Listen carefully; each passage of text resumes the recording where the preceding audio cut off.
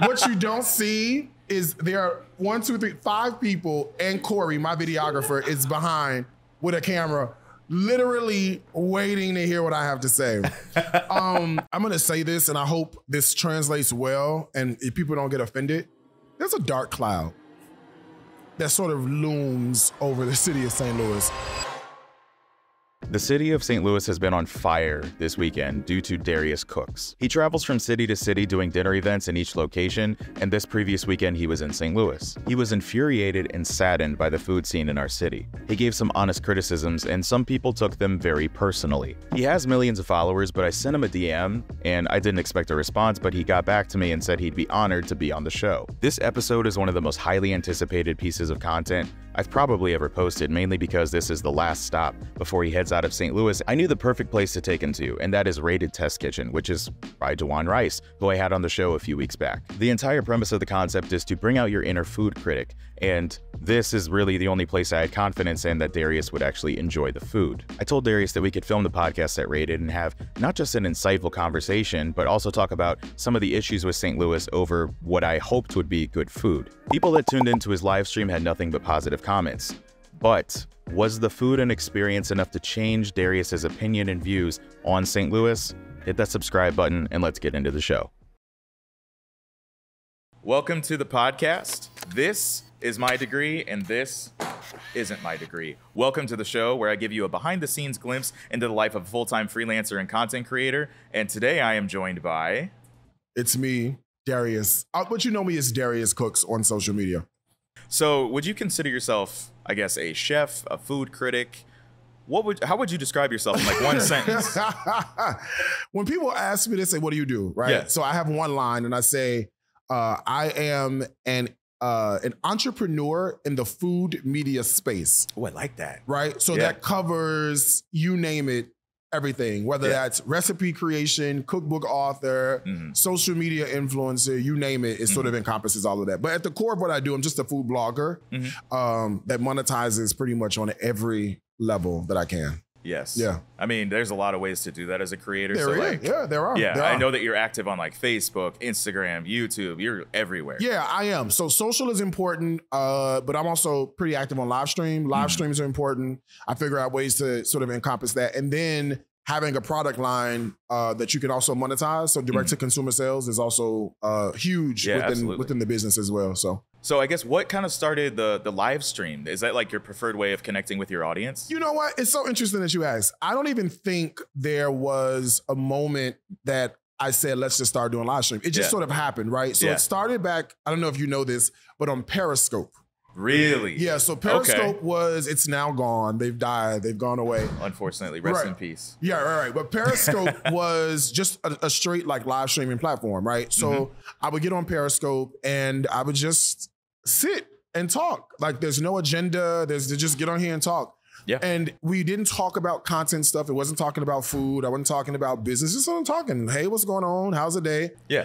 And that grew from 10 people watching to a thousand people watching. Okay. Um, and it just became one of the cruxes of the business and what I do and how I brand myself on social media. So it just started that way. And Yeah. now here we are. So now the live stream, we do like just regular conversation. I live stream the reviews and then I Mhm. also do live streams uh, cooking as well, cooking and cocktails. So everything essentially started on Periscope and just kind of like grew from there, Nah, or I would say it probably started just as a food blogger. So if you Okay. think about um, back in the day when I was doing like when they had Blogger and Blogspot. yeah, yeah. So it started back then, and I've just been so adamant, and new tools have come out to help us, you know, throughout the, the journey. Yeah. That, you know, because when I first started, you know, Facebook was barely there. There was no Mm-hmm. Instagram, Twitter wasn't around. And then as these tools started coming on board, coming online, then we just grab a hold of those. yeah, Yeah. okay. And then figure out a way to incorporate that into what we've got going on. okay. Yep. Well, I've got so many questions about what you do, your social Go right strategy. Yeah. But I do want to let you guys know that we are at Rated Test Kitchen today. We are. So I know that you're interested in like the young up and coming chefs. Yes. And this is run by Chef Juwan Rice, who's 22 years old. So I hear. So I am excited for you to go through this experience. How it's going to work is they're going to bring several courses out. We're going to enjoy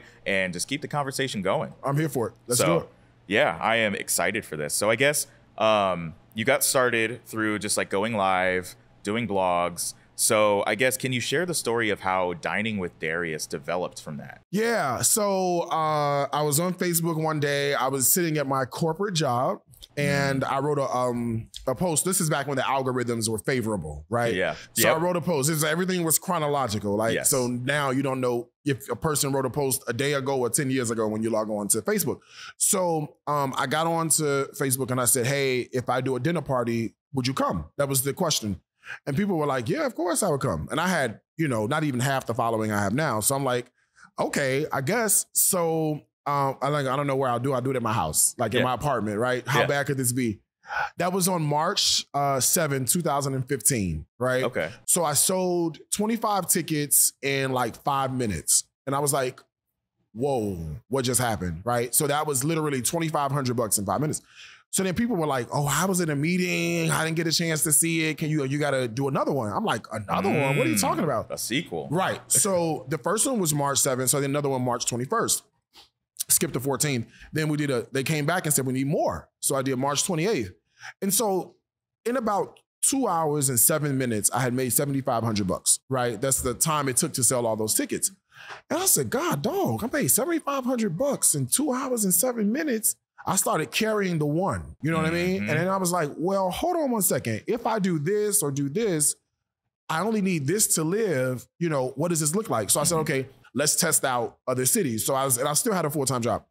So I said, okay, I'll do Orlando, right? If Orlando Okay. sells out, I'll go. So I did Orlando. Orlando sold out.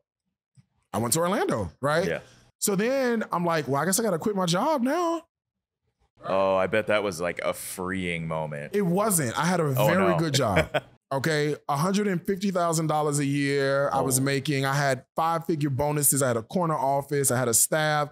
It was beautiful, right? Yeah. It, it was. It's what people want in corporate. hmm But what I looked at was the time difference, right? To, to do dining with Darius Cooks, at this time, I would fly out on Friday, come back on Monday. So I'm only working Saturday and Sunday. Yep. I've got Monday, Tuesday, Wednesday, Thursday off, right? I don't have to work. So I started thinking about that, and that's how it grew. It grew from, you know, just Friday and Saturday or Saturday and Sunday to more days, more days as the event grew in popularity. So it grew so fast that last year we did 176 dinner parties. This year, uh, 334. 334. Yes. Oh my gosh, that's almost enough to like fill out an entire year. Yes. And people, and it's still not enough. Oh wow. Yeah. So that's what I'm going through. So I guess where are you headed to next? Uh, Boston, and then uh, I don't know. After that, I can't remember. I think it's um, I want to say Indianapolis. I don't know, man. I can't remember. It's okay. It's, It's- on I the mean, this- calendar. it's on the yeah. calendar. I can tell you, we just came from Newark. We Mhm. flew straight from Newark to St. Louis. We we we're here until tomorrow. Mhm. We go back to Atlanta for a couple days, and then Thursday we fly to Boston. Okay, nice. I bet that's a lot of like interesting experiences. Like you've been to St. Louis now eight times. Yeah, at least. Okay. So I guess whenever you have this off time, like how do you decide what restaurants to go to? Like, do you ask your audience? I do. Do you look at I do. reviews from No, other people? Like, no. So what's interesting is I don't I don't look at any reviews okay. because I don't want you to like be to say unbiased. Yeah, I don't want to Yeah. be I don't want to be jaded like walking in the door knowing what to expect. Like you hear stuff from people, but Mm-hmm. Yeah. I don't like to formally read the reviews. So Mhm. uh, when I get to a city, I'm at the airport. The moment we touch down, I'll Mhm. check in at the airport on Facebook and say, "Hey, I'm here. Where should I go? Like, Yeah. what black-owned restaurant should I go to?" And then people will tell me, "Go here, go here, go here," and it's Mhm. like a whole list in the comments. And the engagement is crazy Yeah. because you've got people who are like, "Why would you send him there?" And I went there. I didn't have a good time. Oh, you Yep. should go here. Oh, this isn't black owned, or this is closed. So it Mhm. even opens up a bigger conversation about just availability in certain Mhm. cities, which I think is an interesting conversation. Yeah, I think it is interesting, like looking at it from that perspective and like understanding what the scene is really like, and also just like how different opinions can be, like and different experiences can be as well. Yeah, you know the other thing too is that like uh, there's a place here called Bait, I guess, and it used Mm-hmm. to be open but it's closed. And the number of people who didn't even know that Bait was closed, I think is crazy, right? Because people Mhm. were like, "Oh, Bait's amazing. We go there all the time," and people were like, "No, it's closed. You didn't know that?" And that, so it just goes to show you like what's going on in the scene of a city, right? The fact that you have popular restaurants that are here that may have gone away or shuttered because of the pandemic Mm-hmm. or whatever, and the general public is like, "Oh, I had no idea." Didn't even Mhm. know. So it just shows you how fast word travels or how slow it travels from Yeah. person to person. So I guess whenever you pull up to a restaurant that is open, ready to go, and you're just like, I'm here for it. What kind of characteristics do you judge a restaurant on? Is it like the food, the ambiance? Like, kind of walk me through your thought Yeah. process because I'm super curious to like understand how Are that you? works. Are you? yeah. Um, so it depends, right? I I I know based on the ambiance what I'm getting myself into, Yeah. right? So there are some places that are might be what we call hole in the wall places, right? Mhm. I know I'm not getting ready to get the best customer service. I may not get the best in terms of, you know, sort of a culinary range of Mhm. items to choose from. So I sort of know what I'm getting myself into. Yeah. But then you go to places that might be a little bit more upscale, the decor, they spend some money and investment in the in the space. You sort of know you're gonna how to judge that place and what you'll get. So Mhm. I look around when I first walk in and sort of know what I'm getting, but that doesn't always mean that's the right formula, Mhm. right? So, for example, uh, there's a place in DC called Kitchen and Cocktails. Mhm. Beautiful place. The man Kevin Kelly spent a fortune making the space look amazing, right? Food is BS, right? Oh. So the place looks great, but the food is not. So it's like sometimes you you hope for the best, but then you don't Mhm. get it. You know what I mean? Or you go to a, a place that's been around for a long time, like Georgia Brown's in DC. Uh, everybody knows about Georgia Brown's. It's a Mhm. super popular place in DC. Food is mediocre at best, right? Mhm. And not just I'm not just saying that from critiquing the place, but the locals are saying that because they patronize the place and they say, you know, it used to be good 20 years ago. So it's not a fast and hard formula, but it sort of gets you halfway there. That when Mhm. you walk in, take a look around and just sort of know what you're getting yourself into. Are there any like unique things that like whenever you walk into a place, you like spot maybe a certain thing or a certain like element that you're like, okay, I know that there's a lot of potential here and this could be amazing. Yeah, so I think some of the call outs that I might see uh, happen to be with the decor. Okay. Um, so you look around and you go, does this look like a black owned restaurant? hmm Right. And so people go, well, what does that mean, Darius? Like, what's a black owned restaurant? What are you saying? That could be Yeah. offensive. And so what I mean is that there's some places where some owners are super intentional Mhm. about ensuring that there are pieces of the African American culture Mhm. woven throughout the entire experience. So you'll look on the wall and you'll see, you know, beautiful images of Dizzy Gillespie or Minnie Riperton or, Mhm. you know, some famous chef, B. Smith, who passed away from Alzheimer's or something like that, right? Mhm. Um, or there's a guy out of Richmond. His name is uh, Mike Lindsay. He owns the Lindsay Group. He's got like six or seven restaurants in Richmond, maybe Okay. more. Um, is intentional, intentional about Mhm. making sure that when you walk in, nothing looks or speaks to it being black owned, Mhm. right? So it's it's interesting when you see those sort of nuances. So I picked that up just Mhm. because I'm looking around. Um, and then there are some places you go, like uh, there's a place called uh, I think it's called Kokomo. Or, no, Kanoko.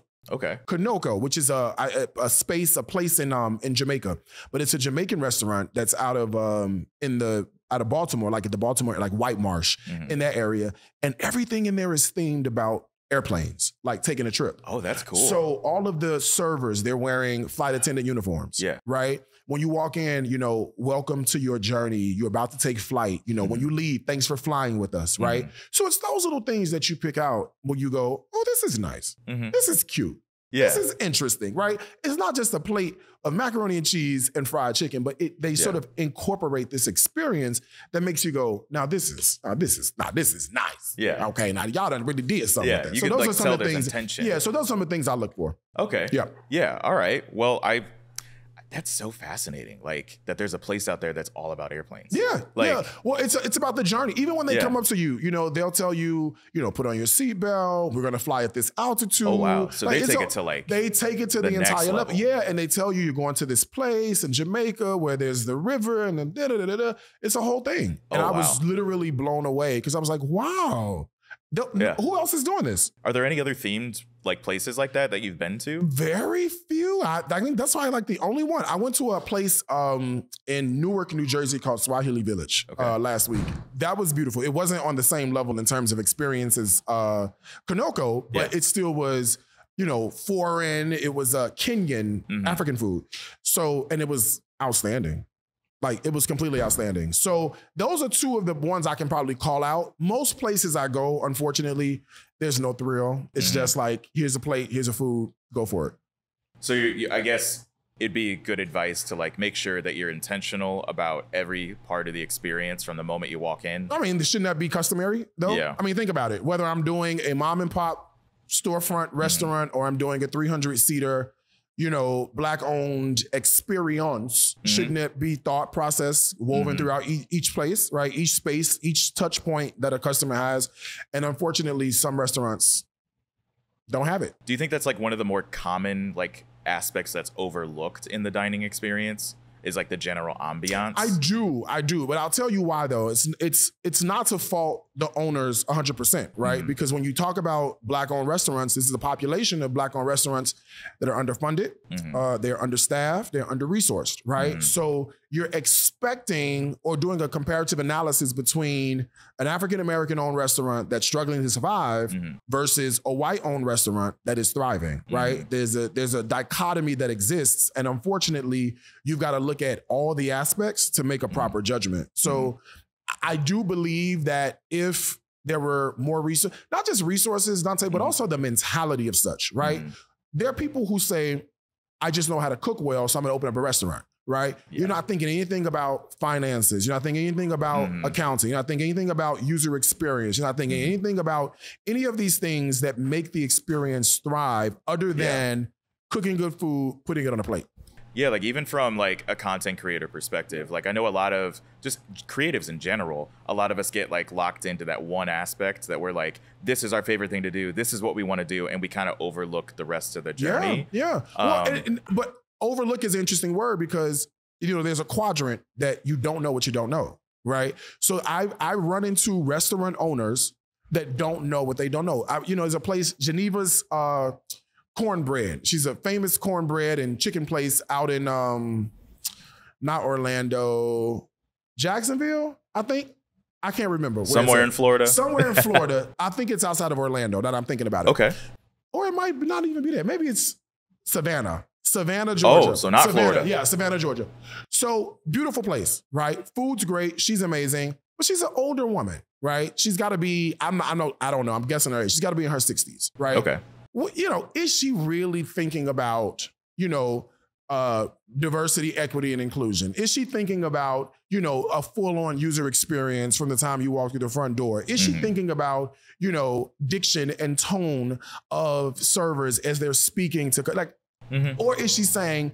Make sure you put enough black pepper in the gravy. You know what I mean? Yeah. So it's like you got to know what to expect from from place to place. I wish more black owned restaurants had access to those resources and understood how that played a role, but we've got a long conversation ahead of us to get there. While we talk about the next topic, it appears that the first course is ready. I'm ready. So I am excited to see what Uh-oh. everyone has prepared. Oh, here we go. Can I just eat it or do I have to critique it? All right, so look, we know you said no shrimp and grits, right? yeah. Well, I didn't say none. I just said just a more inspired shrimp and grits. This is so Right. interesting. oh, wow! I hope you're not asking for my feedback.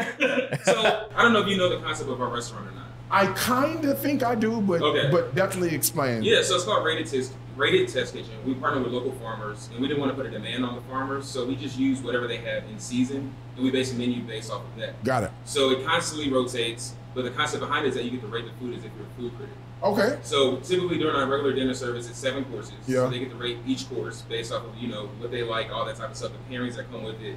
Um, and for today, it's just going to be four courses because it's like our brunch segue. Perfect. Um, and we only been open for two weeks, so people are still kind of getting used to the concept. Yeah. Something new Yeah. that the owner's inviting for critique. Yeah. Um, but we think it'd be we think it'd be cool. You- It's needed, man. Yeah. That yeah, concept is needed. So Definitely. so let's hope everything matches hope so. the the necessity around here. Okay. So this in front of you is uh, shrimp grits. The sauce is a West African pepper sauce. Um, I was traveling in South Carolina for a while, doing Charleston, doing restaurant consulting and stuff. Um, and I worked with a chef, and he kind of gave me the Gullah like infusion, and so I really like put, pick that up, fuse it with some of the things that we do here in St. Louis, and then it's the dish I created. Okay. Yeah. All right. I love that. I hope we do too. Let's talk. Let's let's roll it. Let's go. So, all right, walk me through your process. Whenever the plate hits the table, Yeah. where is your mind going? So the what are you looking at? I picked the menu up, right? It's the Yeah. first thing I do because I'm I'm doing this. This is so nerve wracking. What, what you don't what you don't see is there are one, two, three, five people, and Corey, my videographer, is behind with a camera, literally waiting to hear what I have to say. um, so the first thing I do is I pick up the menu to just to draw a parallel Mhm. between what's in front of me and what's on the menu because this menu is what people are going to be expecting. So in my mind, does does the plate in front of me match what we're picking up from the menu, Mhm. right? So that's first and foremost. There's a story behind it, which I think is interesting. I Mhm. wish there's something that spoke to that on the menu so we can Mhm. kind of draw a parallel, but the fact that he explained it is fine. And then we taste it. So you ready? I'm ready. Let's do Let's it. sample. Let's do this. All right. So here's what I do first. Okay. I'm gonna go for the grits, right? Go for the And grits. so okay. I always talk about technical things with the grits, right? Yes. So I would prefer grits to be a little bit more creamy. I'm- and I'm just going off of texture. They Mhm. could have been sitting, right? So maybe they were creamy at first, but they are a little on the stiff side, Mhm. but we'll taste it and see. Okay. So Here we cheers go. to that. Cheers to that. All right. Then I will taste the grits along with the sauce. Okay. Okay.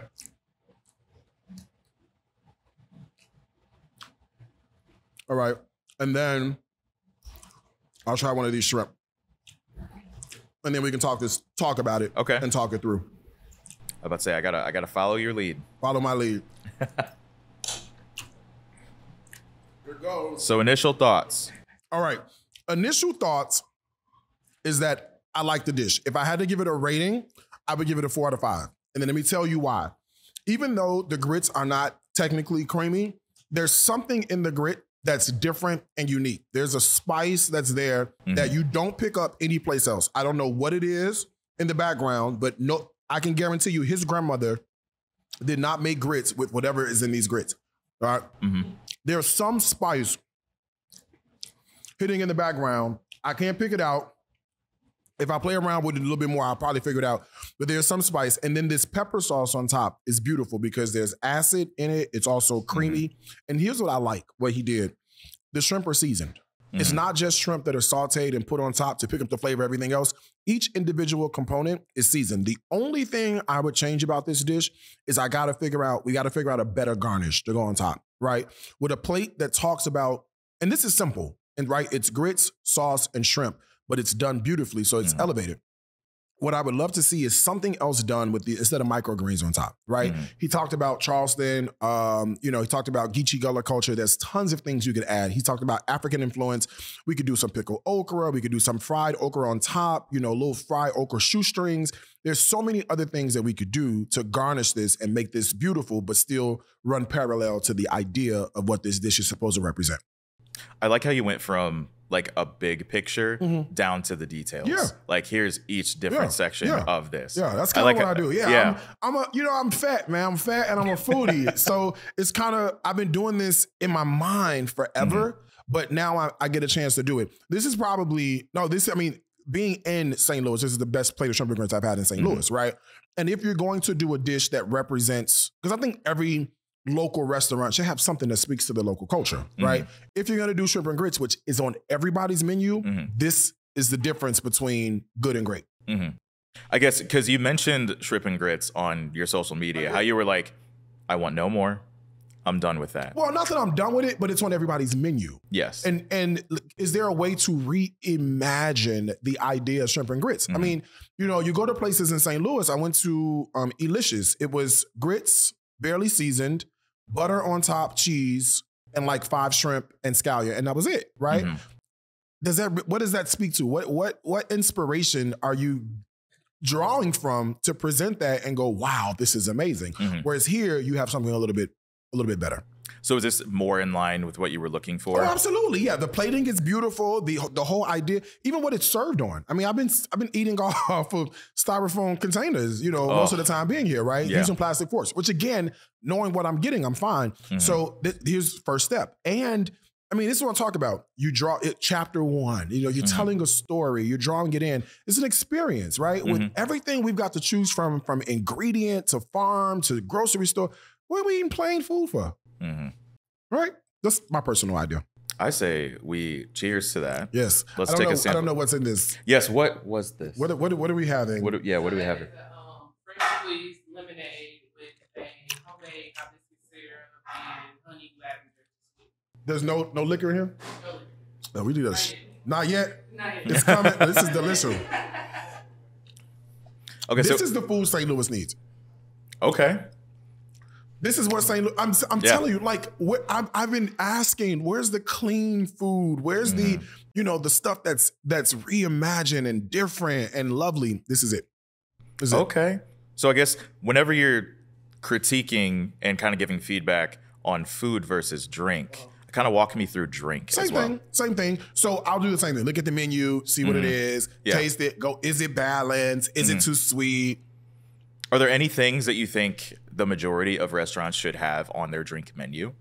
Oh, if you're gonna say anything southern, sweet tea lemonade, Oh, homemade. you have to.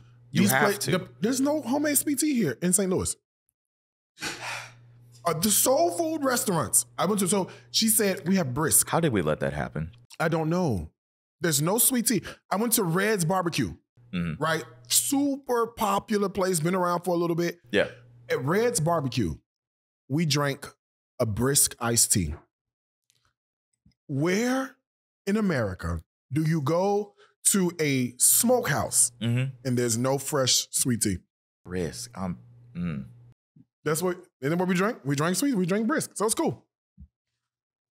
That's what we drank, man. We got to do better than yeah, that. yeah. We can do better than that. Hopefully.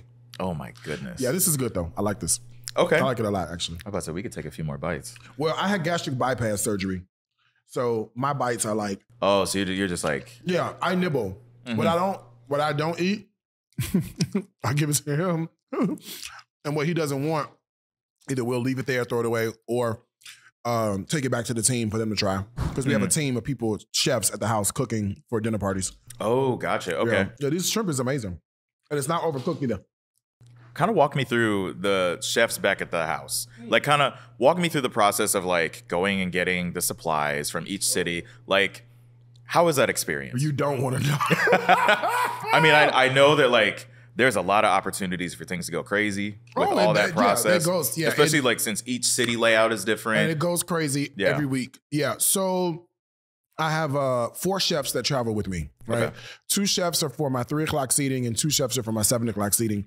We switch them out every quarter. So if you work three o'clock first quarter, you're going to work seven o'clock um, second quarter. okay. Three o'clock chefs, we only have dinner parties for three o'clock on Friday, Saturday, and Sunday. Okay. Whereas seven o'clock could be any day of the week.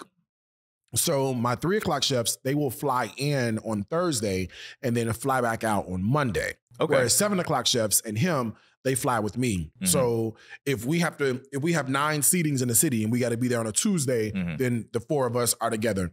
Uh, by the time we touch down um, with all of our luggage, we've already ordered tables, chairs, everything's delivered to the house. Mhm. Uh, the chefs hit the ground running, right? So they'll start doing their grocery shopping, they'll do their Walmart run, their Costco, their Sam's Club, the liquor store, everything they need. They Mhm. have a master list I provided for them so they know what they need to do their jobs.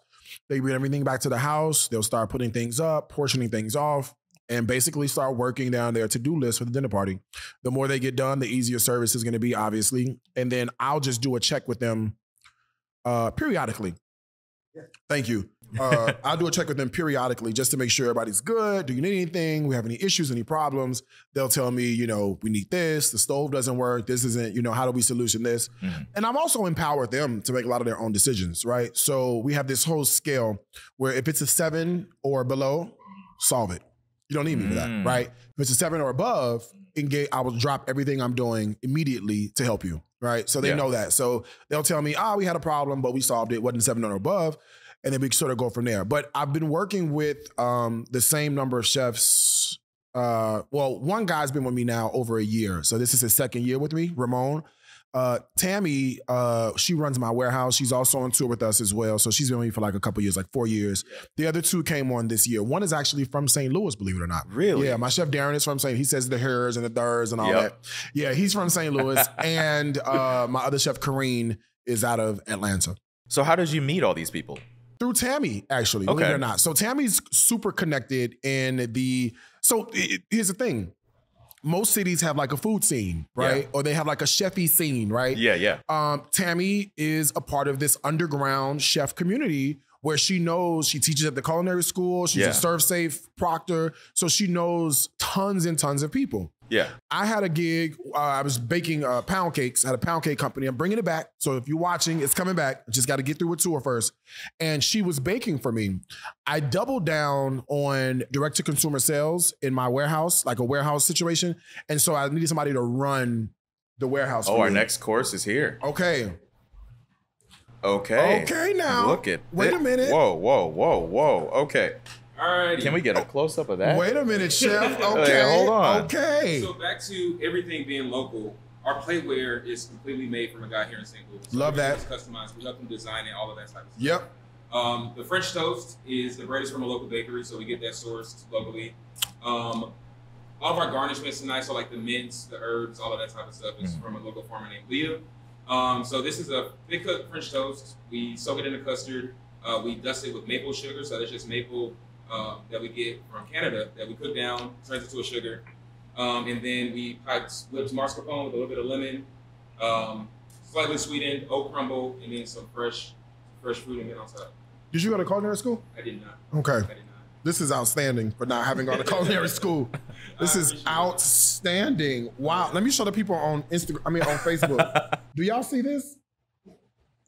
This is outstanding, right? And little touches. Look at this woven sort of pattern that really speaks to some sort of like ancient African garb, right? Mhm. And look how it's woven on the plate and Yeah. presented. You, you see what I'm saying? Yeah. Who's doing that besides him? Yeah. That's what I'm saying. All right, we're gonna taste this and then yeah, I'll finish about. let's taste it. All right, now, I don't walk like French toast because French toast has eggs in it, but I'm taking the bait with a little corner. So we go for the corner? Yeah, I'm gonna okay. go for a corner. Normally, Corey eats my French toast and my macaroni and cheese with eggs in it, and then he gives us a rating. But I'm gonna try this, and then Okay. he says mascarpone. That has me excited. It's one of my favorite ingredients in the world. Okay, so you, you gotta gotta layer it all over. I saw you do that technique there. Yeah, because you Okay. get the full bite. It's gorgeous. Mmm. It's gorgeous. Hand me that. Um, hand me that fork, Corey.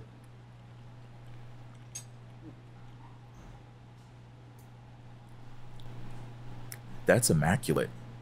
It is. Here. He loves French toast. Well, we got the- This is what we do. If it's good, I'm like, taste it. You were like, yeah, I like it. I don't like it. Okay, so yeah, let's let's walk through this. Okay. Talk me through the presentation. Talk me through the initial flavors. What It, it all it all works. I don't have any issue with this whatsoever. The bread is fluffy, which I which I could appreciate. Um, some French toast can be super heavy, Mhm. so this is like a sort of a light. And if you look inside, the bread is sort of bouncy still. yeah. Beautiful, lovely. I love that he piped whipped mascarpone on top, Mhm. right? So it's saying, what else can I do to elevate these flavors, right? Yeah. There's a there's a beautiful crumble across, and he's done a fantastic job using figs, blackberries, and mint to garnish, and gooseberries to garnish. This is, I mean, this is the the craft food that St. Louis needs on a larger Mhm. scale. There should be eight restaurants serving food like this that are black owned in St. Louis. And the fact that he's doing this is outstanding. I can't wait to see how your opinion progresses as these courses keep coming Okay, out. okay, I can't okay. wait. Yeah, because like I don't know what they have planned. I haven't seen the menu. Like well, I haven't even seen that. Uh, you haven't seen it. and I kind of want to just go into it blind. Okay, I wanna, well like, I'm gonna turn it over. I'm gonna- you I'm not gonna look at it. Like if you want to get some sneak peeks, you know, like look at the answers. That's no, fine. I won't. I won't. But I won't. Yeah. I won't look at it. so I guess uh, speaking of Facebook Live and Instagram Live, I guess do you prefer Facebook or Instagram to go live on? It depends. From like a technical standpoint, I know the audiences are the same and probably a little bit different. maybe, But- yeah.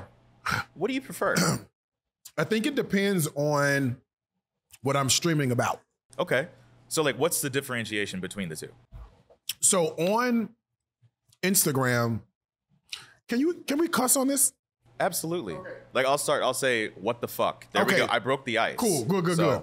So on Instagram, we just shoot the shit. That's it. Mhm. We sit around, we hang out, we have a good time. We're not talking about content, we're not talking about food. We're just having a good time, right? We Yeah, talk like about out. talk about any everything. Yeah.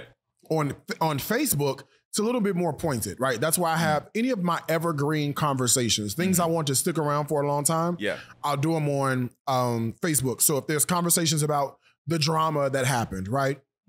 I'm no stranger to controversy. So if I've got to clear my name for something, Mhm. then it's having those conversations on Facebook. Um, a lot of the cooking live that I do Yeah. is on, well, I stream it on Facebook, TikTok, Instagram and YouTube at the same time. Okay, so But you like that's hit the- every platform. Yeah, yeah. Okay. But that stuff pretty much lives uh, and breathes on uh, Facebook. So it just depends on like what I'm doing, what kind of content I'm delivering. That's what I'll put out. Okay.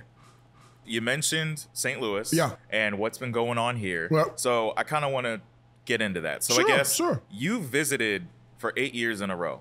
What kept you coming back? The people. I have tons of supporters in St. Louis. This is not my first time. Every year I come, my dinner parties have been sold out. We went from doing two dinner parties on the weekend to doing four dinner parties, and now we're up to seven Oh wow. you know, on my visit to St. Louis. So there's definitely a demand. And we're here. And I don't even think seven is enough. I think people are still asking for uh more. Uh oh. My bad. People are still asking for more and more tickets.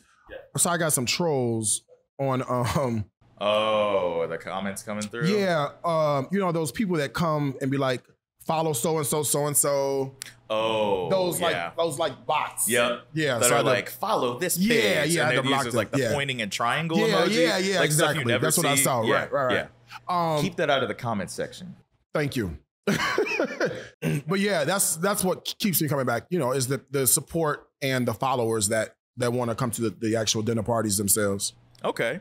So I like to call St. Louis like a little big city because it has that like small town feel. Like a lot of people know each other here. It feels like a little town, but it still has like big city size and population. Sure. But compared to other major cities like Chicago, Mhm. Atlanta, LA, New York, like those places, how do you feel it stacks up against those? Doesn't It doesn't. doesn't. Yeah. Why is a- that? You know what? I'm gonna say this, and I hope this translates well, and if people don't get offended. There's a dark cloud that sort of looms over the city of St. Louis. I don't know if it was from Ferguson. I don't know if it's with Sweetie Pies, Mhm. right? But there is sort of this cloud Mhm. that's here. And the cloud doesn't have to be here. The Mhm. cloud can be broken through.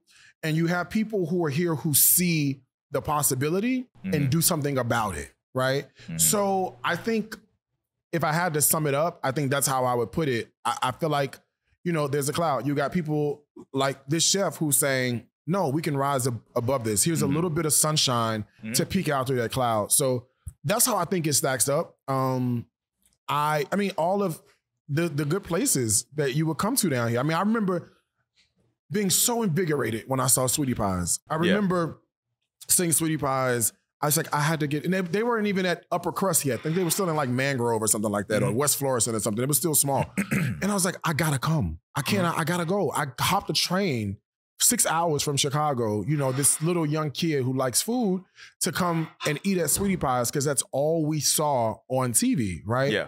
Which was great for people like me. Mhm. But now that that's over and done, what's there for people who are coming up behind me? You know what. I mm-hmm. mean? So when I see, if you ask me how it stacks up, I mean, it's it's tough. There's not a lot to, to offer. Do you think there's anything specific that we can learn from larger cities? Or like anything that you think would be beneficial to the scene here? Um, I mean, there's lots to learn. I don't necessarily, I, I can't really answer that because I don't know enough. Right, I've only been here for a couple of days. I visit Yeah. once a year, so I, I don't really have enough data to be able to answer a question like that. Um, but what I can tell you is from the culinary scene and what I've experienced, it needs a little bit of help, and not just. And what I mean when I say help is you've got what was just put in front of me. hmm You can't get that anywhere else in St. Louis owned by a black person. Can't. You see what I'm saying? That that that means a lot. You know, you Yeah. go to Elicious and use the term mascarpone cream. Right? Yeah. What what is that? All right. So it's like we need more stuff like this in order to stack up against other big cities. hmm And I the reason I ask is because I there's I feel like there's a certain level of criticism that Mm. St. Louis needs. I mean, I'm born and raised here, and I'm one of the first to like say I love St. Louis. Yeah. There are hours of my life on YouTube, Yeah. like putting on for the city. Yeah, yeah. Like, but to say it's exempt from criticism, I feel like is not a true statement. Okay. Um, so that's why I want to open the dialogue Sure. about this. No, sure. And I, I I find it interesting because you know you're not from here, Yeah, I'm from here, yeah. so we have two different perspectives. Sure. But that's why I hit you with the DM because I figured this could be a really beneficial I, and insightful I think conversation. it needs to be a conversation that needs to be had. But in order to have that conversation, I mean, there needs to be a basis, a, a- a foundation of maturity and a foundation of honesty, right? And I find that a lot of people aren't willing to have an open and honest conversation about where things are because it might put them in a bad light. I went to Creole with a splash of soul, right? I'm sure you've heard about, you know, the blow up over at Creole with a splash of soul. When did and not just the blow up between me, but so much so that her own customers are telling her, ma'am, you're you're out of pocket. It's been bad for a while, Mhm. right?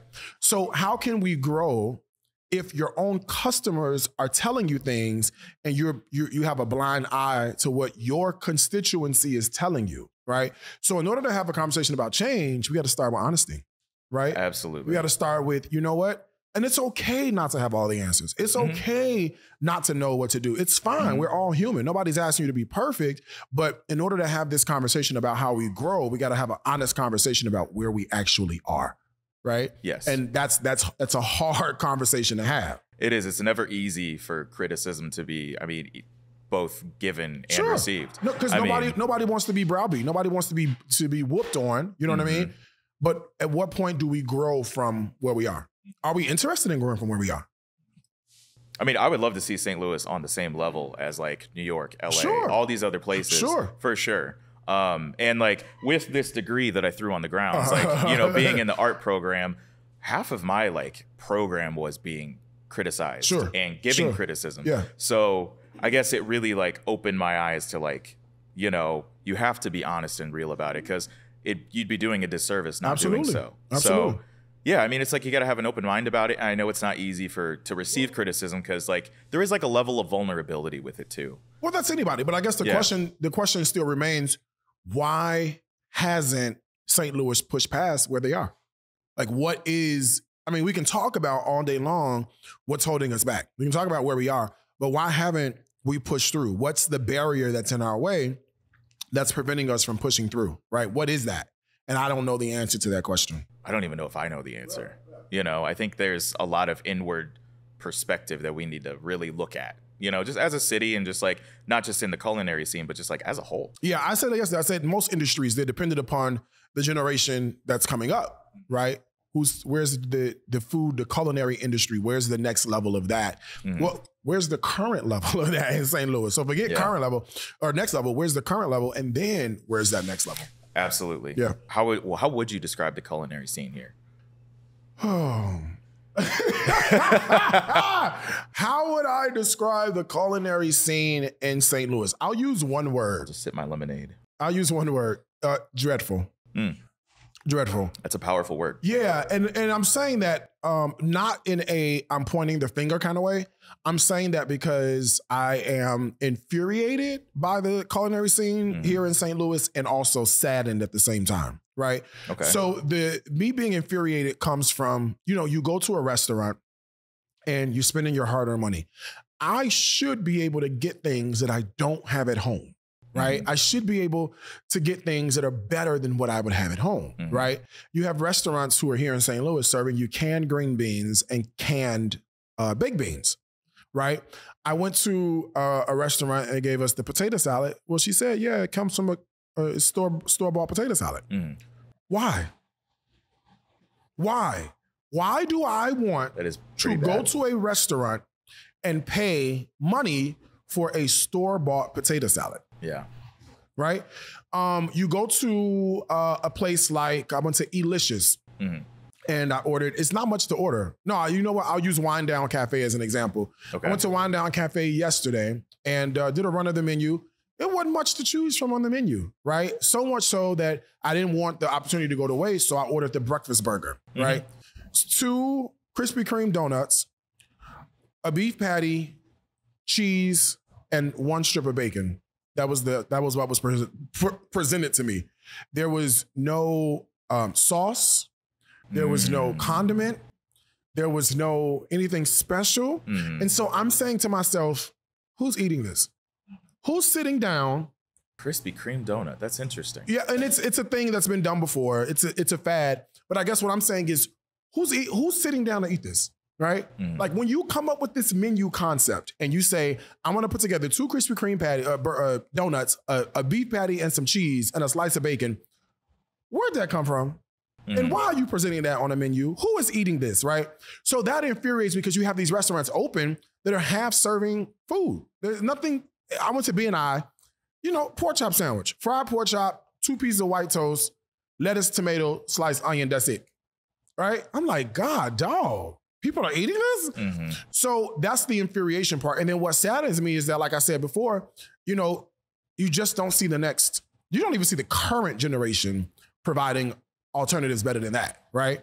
So that's that's kind of, I mean, I use the Yeah. word dreadful, but if I need to do a comparative analysis between uh, St. Louis, for example, and Kansas City, Missouri, Mm. night and day. And factually, there are more uh, residents in the St. Louis metro than there are in Kansas City metro. Yep, Right? that's true. And for Kansas City metro scene, from a black perspective, to be leaps and bounds ahead of St. Louis, I don't know, Dante. Doesn't really speak volumes. I know one of the, my frustrations, I guess, with St. Louis, just being totally candid, Yep. is for a lot of, and I can't really speak as much on the culinary industry, but I know from like the creative standpoint, because I'm also a freelance videographer full time. That's Mm-hmm. That's my job. Yep. So there, the opportunities that are presented here compared to other cities, it draws a lot of people to leave. I've heard that. So that's I think that's one of the contributing factors as to maybe why things here aren't as developed Yeah. Is because a lot of our top talent they're like, "Oh, that's an interesting opportunity out in Denver. I'm going to go out there." Right, right. Or like, "Oh, there's something happening in, you know, Jersey. I think I'm going to pay them a visit." Yeah, but but doesn't that seem to be problematic that we're able to pinpoint top talent so much that Mhm. if they leave and go someplace else, we're at a standstill? Mhm. Right? Doesn't that speak to something bigger, some Mhm. sort of systemic issue? The fact that you're telling me that with all the talent that exists, if the top talent, four, five, six people leave, then we're in the chokehold. We're at a standstill.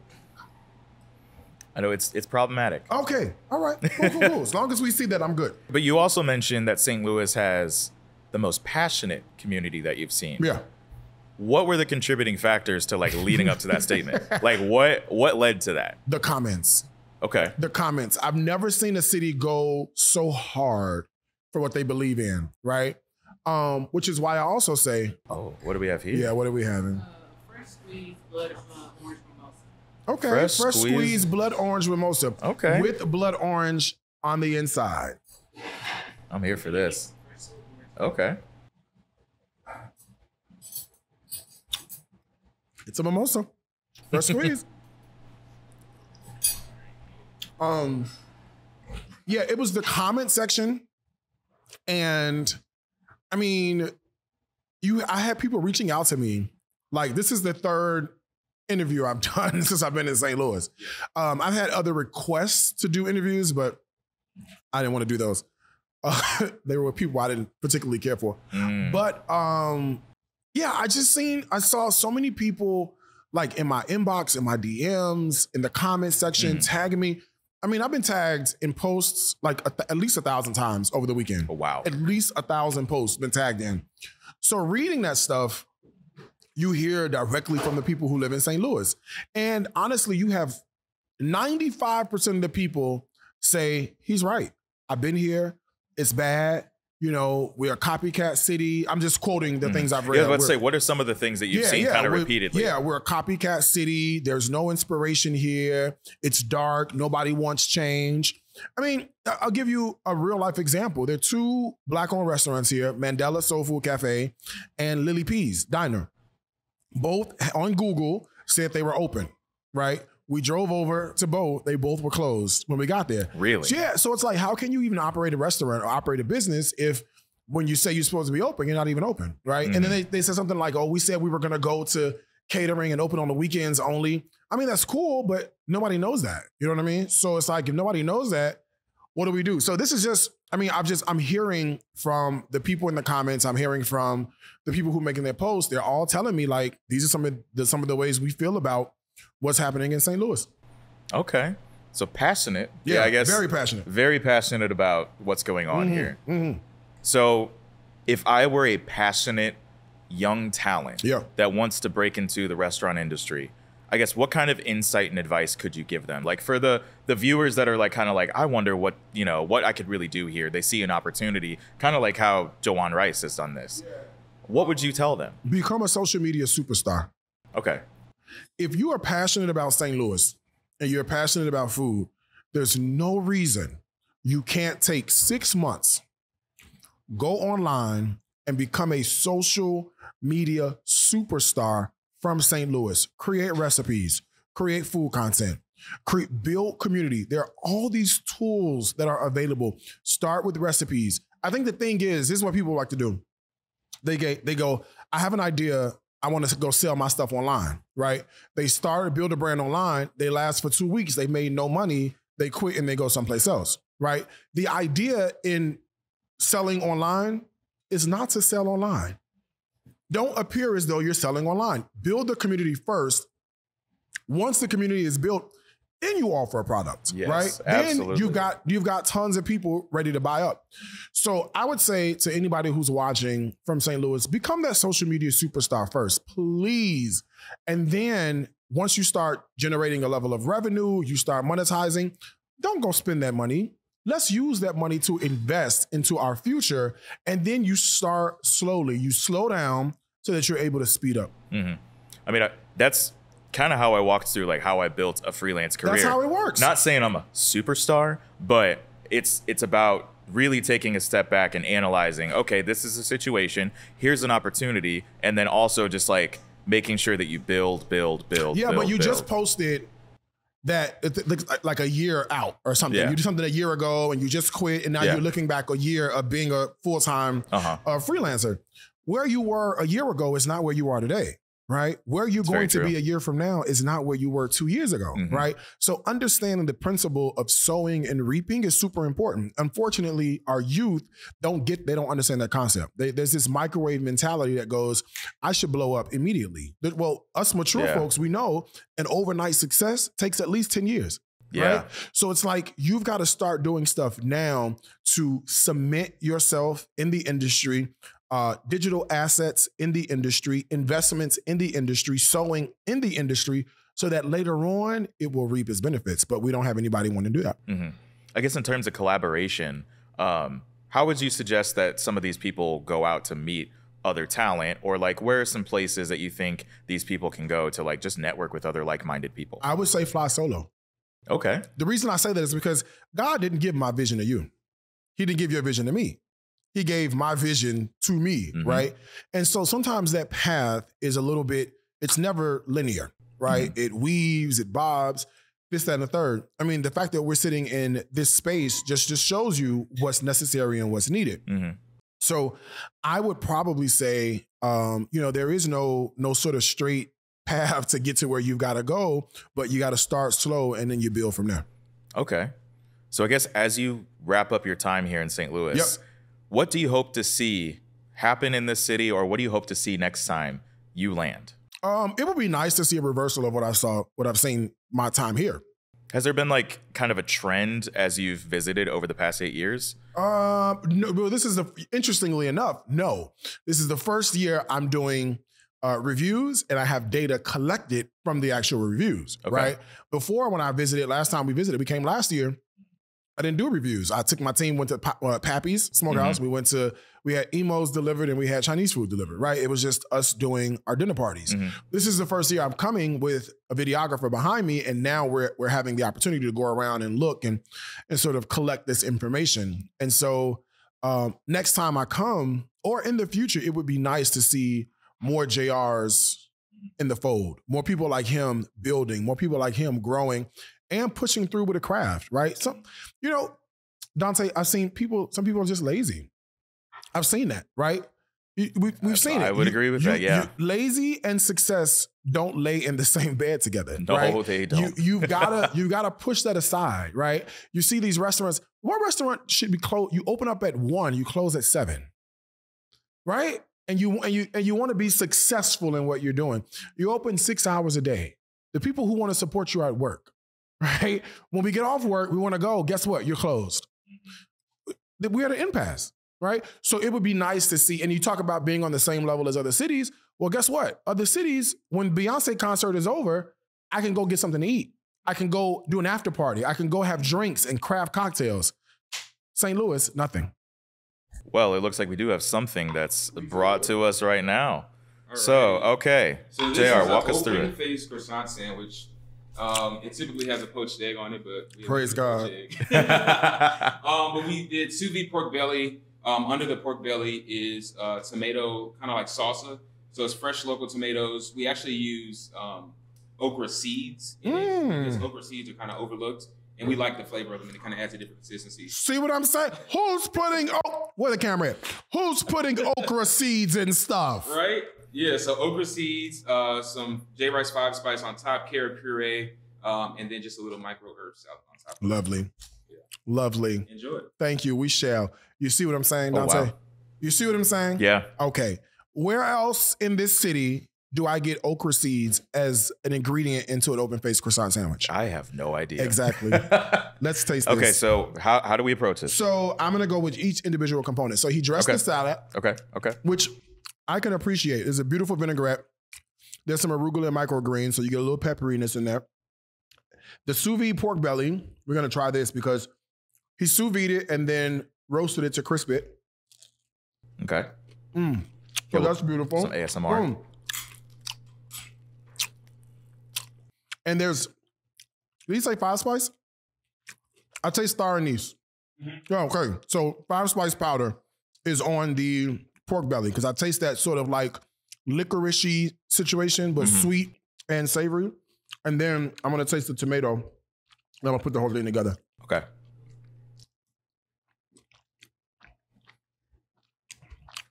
Tomato's okay. Is there mint in here? Basil? There's mint. That's what I taste. Okay, mint. I would probably leave the mint out, personal uh, preference, and add cilantro. Um, because cilantro is a very different component than mint, but that's just my personal opinion. Tear up Mm. this little bit. Carrot puree is beautiful. And it tastes just like carrot. No, you know how some purees could be. You put so much other stuff in it. Guess you missed the whole. I was like, is what is what is this? It's good, but it misses the mark. Yeah, he put mint. I would leave the mint out just because you have mint, but you also have the arugula and the dressed um, salad, which could be a lot on the palate. You know, for the uh the regular people tongue. Yeah,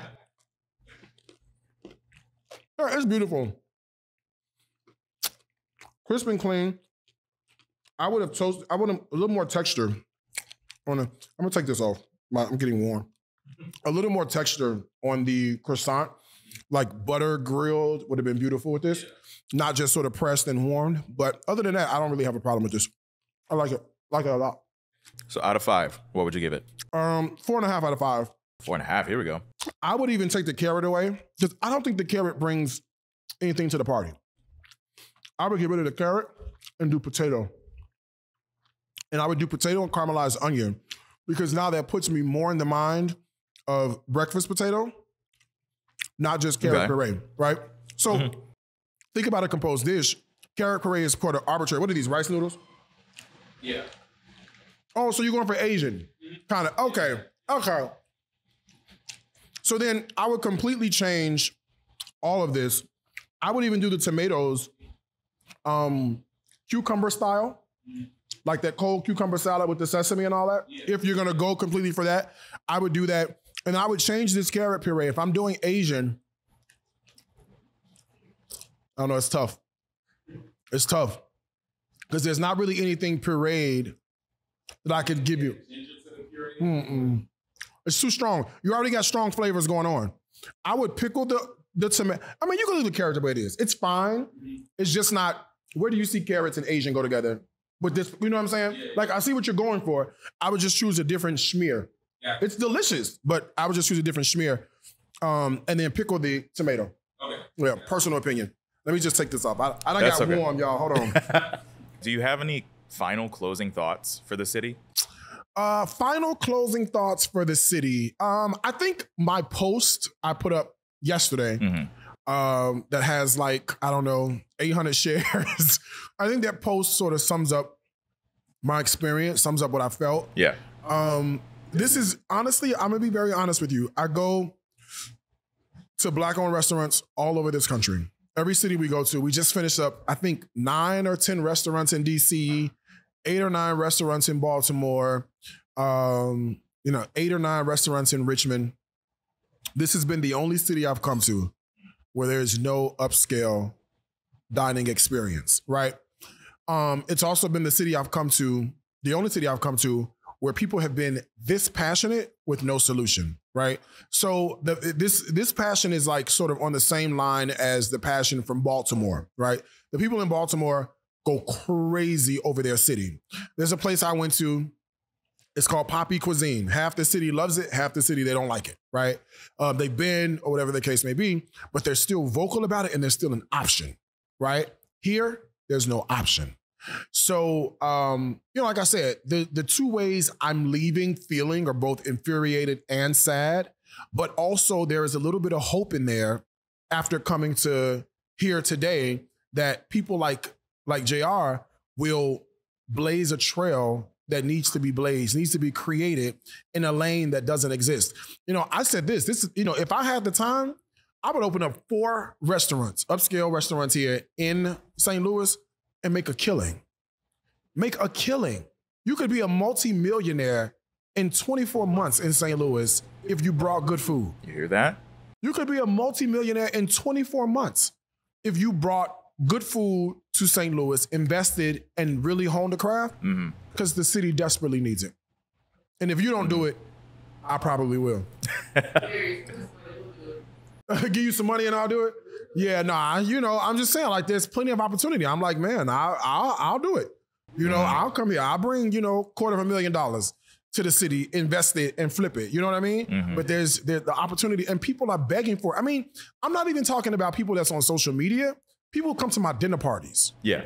are I'm talking to them firsthand. These are people who live in St. Louis. You know, every time we do a dinner party, we ask who's done any extensive traveling to get here, right? So you travel, you know, yesterday 30 people came, one person traveled extensively, mm-hmm. right? So 29 people live in St. Louis and they're telling me to my ear, we don't have this, we don't have that, we're missing this, we're missing that. The the the the land is ripe, man. The land is ripe. We just need people who are willing to till the soil and plant the seeds.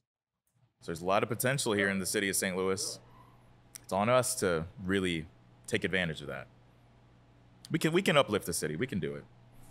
But so let's talk about your experience here today. Okay. How would you describe so far rated test kitchen? Oh, good. Everything's great. Uh, everything. Really, if I had to give it a, a rating, it's like a five out of five, right? Because and I, I do two things. One is I look and compare to what's happening in the city, right? I can't take a dish I had in New York and compare it to what I had here, right? I can't do that uh, because those are apples and oranges. Yeah. I I also do that as well. So people who are watching me, they know, okay, he went to this in New York. Is it like this? Is it similar to that? What you know, what can I expect? If he does food like this and he does a little fine tuning, he could be the next Huncho House in Hyattsville, right? Literally could be the next Swahili village in Newark, right?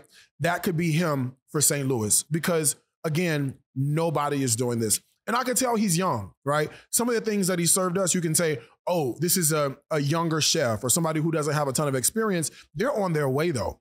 Who the hell is sous vide pork belly with five spice, right? And it's not greasy, right? Who the hell is doing carrot puree with open faced croissant? Nobody. Who's putting okra seeds and stuff? You know what I'm saying? But just not carrying it all the way. That's what I'm saying. Who's doing this? Who's frying rice noodles as a garnish? Nobody's doing that. He is. Yeah. He is. So you keep that up. I mean, the sky is the limit. The sky's the limit. I mean, honestly, this is like, I mean, this could be on the same level as like Michelin star restaurants. You know what I'm saying? Once you get the service together and you get the experience together, you keep making drinks like these and food like that, you'll be all right. You'll be good to go. You'll be good. Well, I mean, I greatly appreciate you taking the time to chat with us Absolutely, today man. and go through this experience with me. I mean, this has been a lot of fun, and I feel like it's been insightful. I've learned a lot. Yeah, I want. What, where's my play? I want that bacon, that pork belly. Is it gone? mm. Somebody loves mascarpone as much as I do. I'm sorry, this is not mascarpone. This one is uh, lavender honey Lavender honey. Lavender honey cream cheese on top. That's- Lavender honey cream cheese on top. And then you've got some Florence, some honey Florentine, and then some honeycomb. Oh, that smells great. Yeah, well, I do a little bit of the, the cheese on top. Okay. Beautiful. A little bit of this lattice work situation. All right. And then I'm gonna. Oh, mm. is this what is this lavender? I have a little bit of lavender honey. Lavender honey that was dehydrated? No, that's just the honey Florentine. Honey Florentine. Yep, no lavender now. Oh, that's a no. This this little thing here. What's this? Yeah, it's just the honey Florentine. Mmm, that's delicious. Oh yeah. Mmm. yeah, this is delicious. Oh yeah, this is this is The incredible. only now this is good. This is a five out of five, but to make it a seven out of five, Yeah, please give me a shortbread crust on the bottom. Either shortbread or crumble for some texture on the bottom, buttery texture with this baked on top. Oh my God. I'm telling you, and maybe a little bit of that crumble because it's just all soft. Yeah. You know what I'm saying? So a little bit of that crumble and maybe put some lavender in that crumble right on top. You got a winner, hands down. It's just soft Yeah. with no other texture going through. But flavor wise, honey, I'm amazing. That's a winner right here, boy. I'm gonna eat all that. What do you wow. think? Oh yeah, It's good? I've been silent. What's your approach to, to tasting it? Well, I I did the same thing you did. Like start small, then go for the whole experience. And yeah, it's it's great. Yeah, and then they did the powdered sugar. Mm -hmm. I like how there's the honeycomb pattern. Yeah, I mean, that's I what like I'm that. saying. There is intentionality here, right? Somebody is taking a step back and said, let's think this thing through and let's see how we present this. And this is, I don't eat the food, everybody's stuff. This is delicious. I need one more piece to go. oh, ah, how good it is. It's amazing. Fantastic job. This is beautiful. Nobody else is doing this. Nobody. This is incredible. Creole with a splash of soul? No. K's Kitchen? No. Elicious? No. Red's Barbecue? No. Here, that's it. That's it. This has restored my faith in St. Louis. Okay, we love to hear This has restored my faith in St. Louis. I think that is an excellent note to end on. yeah, this has restored I- my faith in St. Louis. So again, thank you so much for joining us for this. Where can people find you online? Darius Cooks. Just you go onto any one of my social media platforms or just Google Darius Cooks. I come right up. I'm Darius Cooks on TikTok, YouTube. Uh, t- I'm not on Twitter. TikTok, YouTube, Facebook, and Instagram. And I'll be sure to link all of all the profiles in the show notes below or the description on YouTube. Y'all know So, who I am. You know how to find yeah. me. Cheers to the future of St. Louis. Here's to the future of St. Louis. That was good. That's a cut. Cut and a wrap.